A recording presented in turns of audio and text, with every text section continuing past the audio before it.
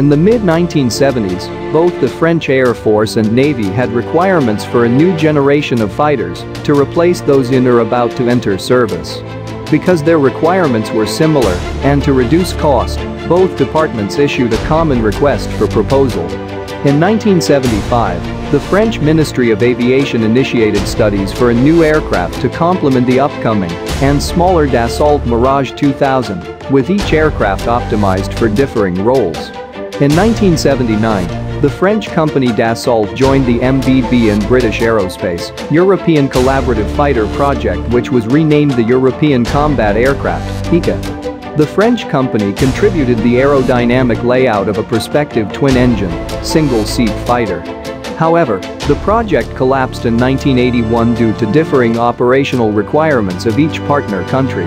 In 1983, the Future European Fighter Aircraft FEFA program was initiated, bringing together Italy, Spain, West Germany, France, and the United Kingdom to jointly develop a new fighter, although the latter three had their own aircraft developments. Several factors led to the eventual split between France and the other four countries. Around 1984 France reiterated its requirement for a carrier-capable version and demanded a leading role. It also insisted on a swing role fighter that was lighter than the design favored by the other four nations. West Germany, the UK, and Italy opted out and established a new European Fighter Aircraft EFA, program. In Turin, on 2 August 1985, West Germany, the UK, and Italy agreed to go ahead with the EFA and confirmed that France and Spain had chosen not to proceed as a member of the project. Despite pressure from France, Spain rejoined the Eurofighter project in early September 1985. The four-nation project eventually resulted in the development of the Eurofighter Typhoon. The Rafale was developed as a modern jet fighter with a very high level of agility. Dassault chose to combine a delta wing with an active close-coupled canard to maximize maneuverability. The aircraft is capable of withstanding from 3.6 grams to 9 grams. The Rafale is an aerodynamically unstable aircraft and uses digital fly-by-wire flight controls to artificially enforce and maintain stability. The aircraft's canards also act to reduce the minimum landing speed to 213 km per hour, while in flight, airspeeds as low as 28 km per hour have been observed during training missions. According to simulations by Dassault, the Rafale has sufficient low-speed performance to operate from STOBAR-configured aircraft carriers and can take off using a ski jump with no modifications. The Rafale M features a greatly reinforced undercarriage to cope with the additional stresses of naval landings, an Arrester hook, and a jump strut nose wheel, which only extends during short takeoffs, including catapult launches. It also features a built-in ladder, carrier-based microwave landing system, and the new fine-tip Telemir system for sensing the inertial navigation system to external equipment. Altogether, the naval modifications of the Rafale M increase its weight by 500 kilograms compared to other variants. The Rafale M retains about 95% commonality with Air Force variants including, although unusual for carrier-based aircraft, being unable to fold its multi-spar wings to reduce storage space.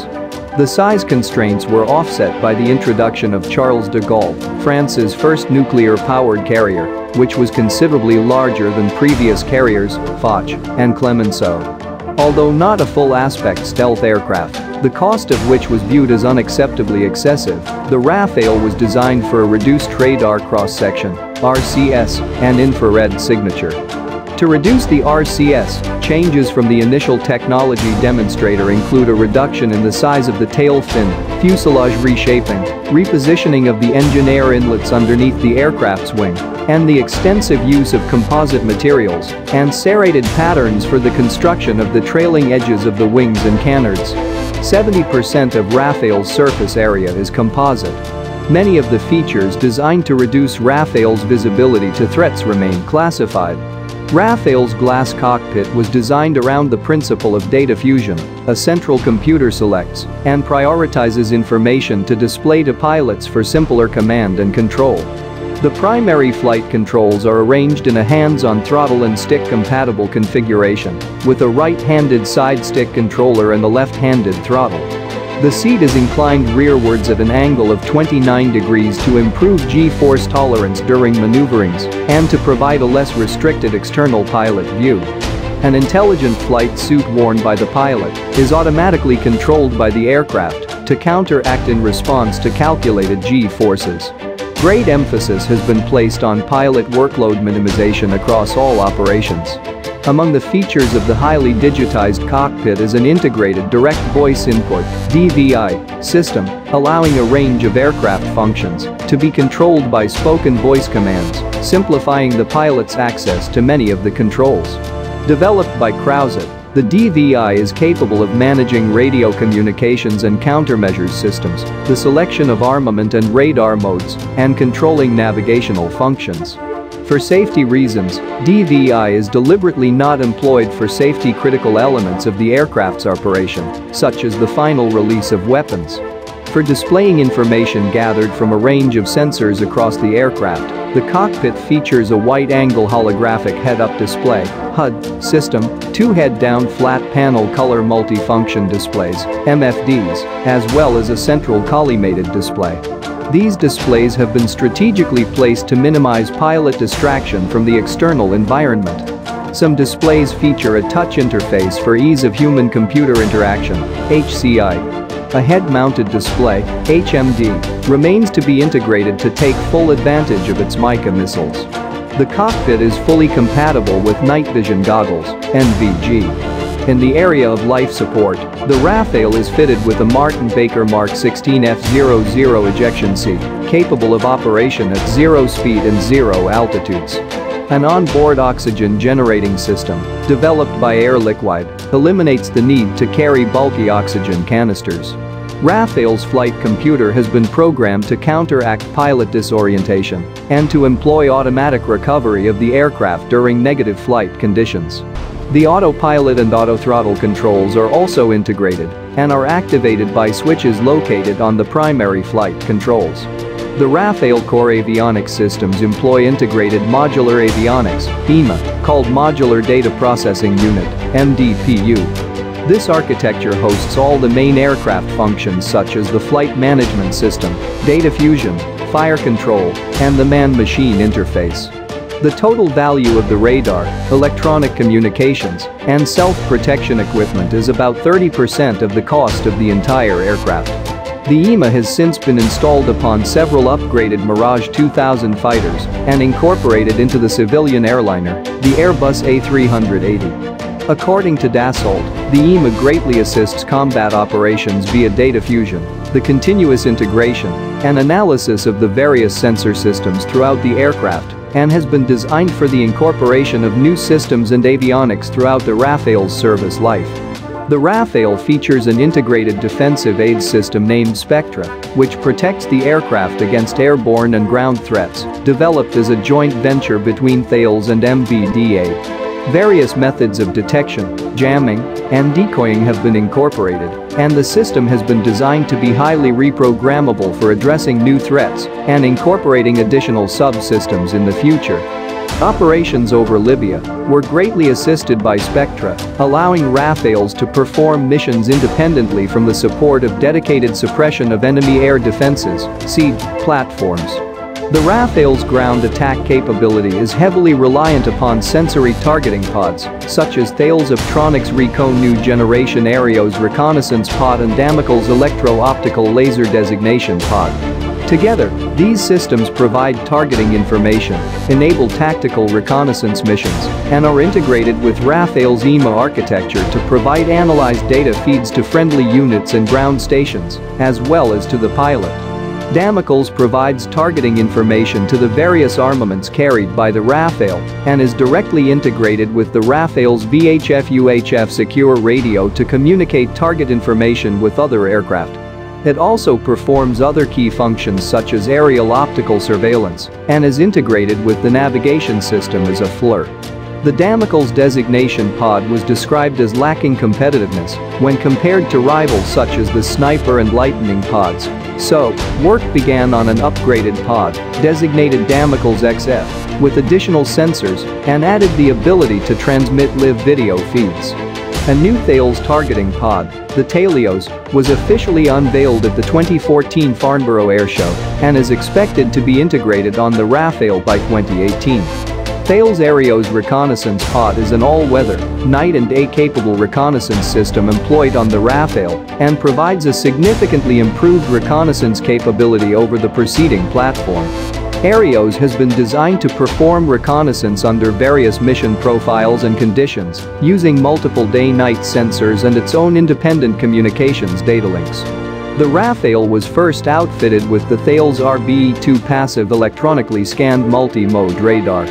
Thales claims to have achieved increased levels of situational awareness as compared to earlier aircraft through the earlier detection and tracking of multiple air targets for close combat and a long-range interception, as well as real-time generation of three-dimensional maps for terrain following and the real-time generation of high-resolution ground maps for navigation and targeting.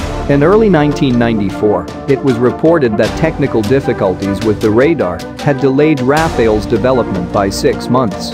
In September 2006, Flight International reported the Rafale's unit cost had significantly increased due to additional development work to improve the RBE-2's detection range. The RBE-2AA Active Electronically Scanned Array ESA, radar now replaces the previous passively scanned RBE-2. The RBE-2AA is reported to deliver a greater detection range of 200 kilometers, improved reliability, and reduced maintenance demands over the preceding radar. A Rafale demonstrator began test flights in 2002 and has totaled 100 flight hours as of December 2011. By December 2009, production of the pre-series RBE-2AA radars was underway. In early October 2012, the first Rafale equipped with an RBE-2AA radar arrived at Mont-de-Marsan Air Base for operational service. By early 2014, the 1st Air Force Frontline Squadron was supposed to receive Rafales equipped with the ESA radar, following the French Navy which was slated to receive ESA-equipped Rafales starting in 2013. To enable Rafale to perform in the air supremacy role, it includes several passive sensor systems. The front sector electro-optical system or optronique secteur frontal OS, developed by Thales, is completely integrated within the aircraft and can operate both in visible and infrared wavelengths. The OSF enables the deployment of infrared missiles such as the Mica at beyond visual range distances. It can also be used for detecting and identifying airborne targets, as well as those on the ground and at sea. Dassault describes the OSF as being immune to jamming and capable of providing covert long-range surveillance. In 2012, an improved version of the OSF was deployed operationally. Initial deliveries of the Rafale M were to the France 1, F-1, standard, these had been equipped for the air-to-air -air interceptor combat duties, but lacked any armament for air-to-ground operations. The F-1 standard became operational in 2004 Later deliveries were to the F-2 standard, which added the capability for conducting air-to-ground operations. The first F-2 standard Rafale M was delivered to the French Navy in May 2006. Starting in 2008 onwards, Rafale deliveries have been to the nuclear-capable F-3 standard that also added reconnaissance with the Areos reconnaissance pod, and it has been reported that all aircraft built to the earlier F-1 and F-2 standards are to be upgraded to become F-3s. F-3 standard Rafales are capable of undertaking many different mission roles with a range of equipment, namely air defense superiority missions with Mica IR and M air-to-air missiles, and precision ground attacks typically using Scalp EG cruise missiles and AASM Hammer air-to-surface missiles. In addition, anti-shipping missions could be carried out using the AM-39 Exocet sea skimming missile, while reconnaissance flights would use a combination of onboard and external pod-based sensor equipment. Furthermore, the aircraft could conduct nuclear strikes when armed with ASMPA missiles. In 2010, France ordered 200 MBDA Meteor beyond visual range missiles which will greatly increase the distance at which the Rafale can engage aerial targets when the missile enters service. The F-4 Standard program was launched on 20 March 2017 by the French Ministry of Defense. For compatibility with armaments of varying types and origins, Rafale's onboard store management system is compliant with MIL STD 1760, an electrical interface between an aircraft and its carriage stores, thereby simplifying the incorporation of many of their existing weapons and equipment. The Rafale is typically outfitted with 14 hardpoints only 13 on the Rafale M version, five of which are suitable for heavy armament or equipment such as auxiliary fuel tanks, and has a maximum external load capacity of 9 tons. In addition to the above equipment, the Rafale carries the 30mm GIAT 30 revolver cannon and can be outfitted with a range of laser-guided bombs and ground attack munitions. According to Dassault, Rafale's onboard mission systems enable ground attack and air-to-air -air combat operations to be carried out within a single sortie, with many functions capable of simultaneous execution in conjunction with another, increasing survivability and versatility. The Rafale is fitted with two Snecma M88 engines, each capable of providing up to 50 kilonewtons of dry thrust and 75 kilonewtons with afterburners. The engines feature several advances, including a non-polluting combustion chamber, single crystal turbine blades, powder metallurgy discs, and technology to reduce radar and infrared signatures. The M88 enables the Rafale to supercruise while carrying four missiles and one drop tank. Qualification of the M88-2 engine ended in 1996, and the first production engine was delivered by the end of the year. Due to delays in engine production, the Rafale demonstrator was initially powered by the General Electric F404 engine. In May 2010, a Rafale flew for the first time with the M88-4E engine, an upgraded variant with greater thrust and lower maintenance requirements than the preceding M88-2. The engine is of a modular design for ease of construction and maintenance, and to enable older engines to be retrofitted with improved subsections upon availability, such as existing M88-2s being upgraded to M88-4E standard. There has been interest in more powerful M88 engines by potential export customers, such as the United Arab Emirates, UAE, as of 2007, a thrust vectoring variant of the engine, designated as M88-3D was also under development. To meet the various roles expected of the new aircraft, the Air Force required two variants, the single-seat Rafale C and the two-seater Rafale B. The prototype of the C model designated C-01 completed its first flight on 19 May 1991 signaling the start of a test program that primarily aimed to test the M88-2 engines, man-machine interface, and weapons, and expand the flight envelope. Due to budget constraints, the second single-seat prototype was never built. The C-01 differed significantly from the Rafale. Although superficially identical to the technology demonstrator, it was smaller and more stealthy due to the gold-coated canopy, a redesign of the fuselage fin joint, and the addition of radar-absorbent materials, RAM. This aircraft also saw the extensive application of composite and other materials, which both reduced the radar cross-section, RCS, and weight. Moreover, Dassault opted to reject variable engine inlets and a dedicated air brake, which lessens maintenance loads and saves weight.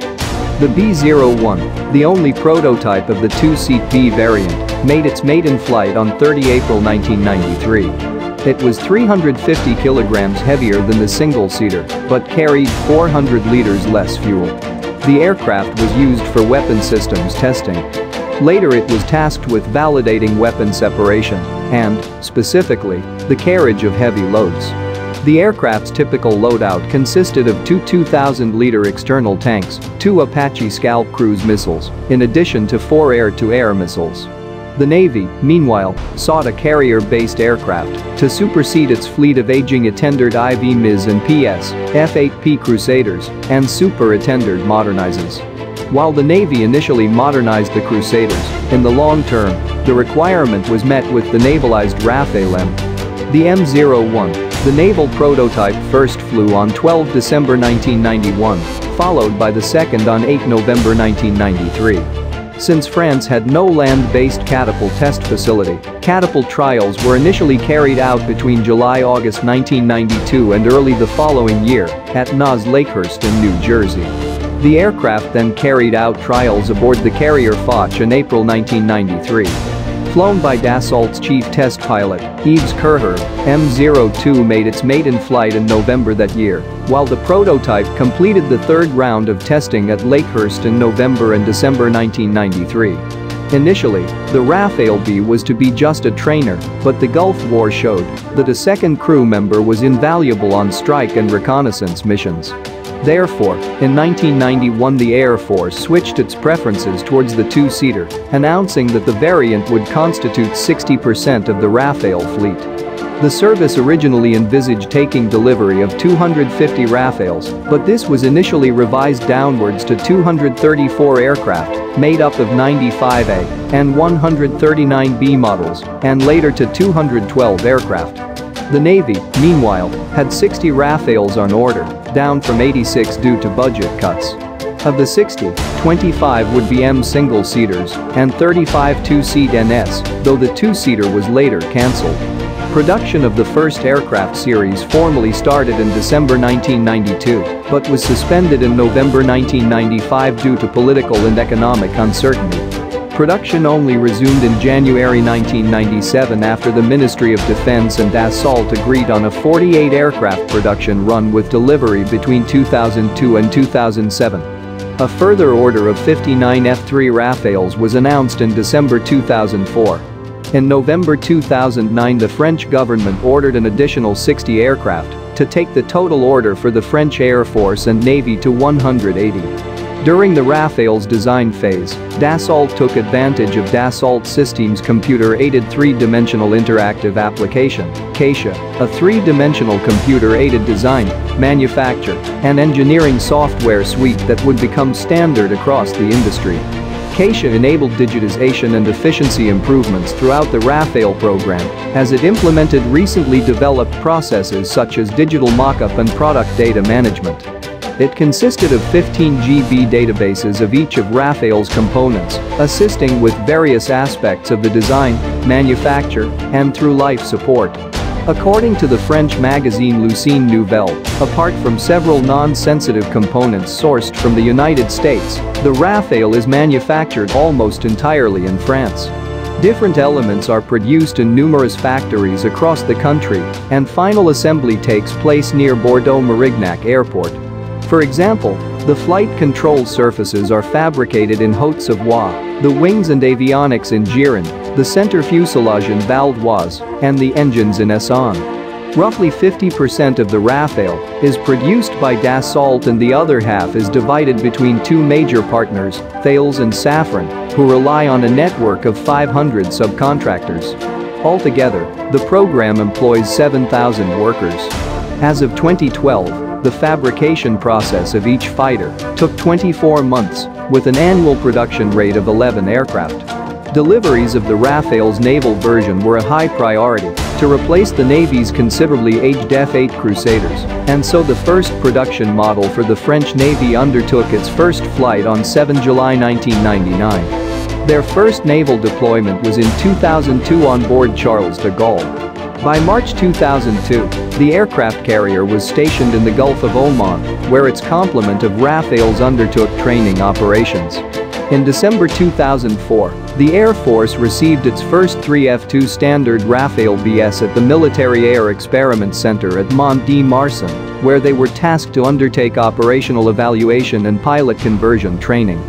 The total program cost, as of 2013, was around 45.9 billion euros, which translated to a unit program cost of approximately 160.5 million euros. This figure takes into account improved hardware of the F3 standard and which includes development costs over a period of 40 years, including inflation.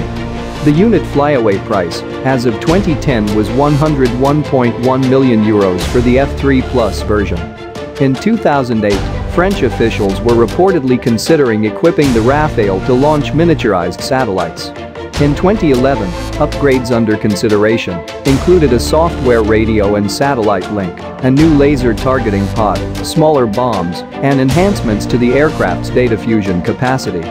In July 2012, fleet-wide upgrades of Rafale's battlefield communications and interoperability capabilities commenced. In January 2014, Defense Minister Jean-Yves Le Drian announced that 1 billion euros is allocated towards the development of the F-3R standard. The standard will see the integration of the Meteor BVR missile, among other weapons and software updates. The standard was to be validated by 2018. From 26 to 29 April 2021, a first test campaign was carried out by aircraft configured with the new F-41 standard.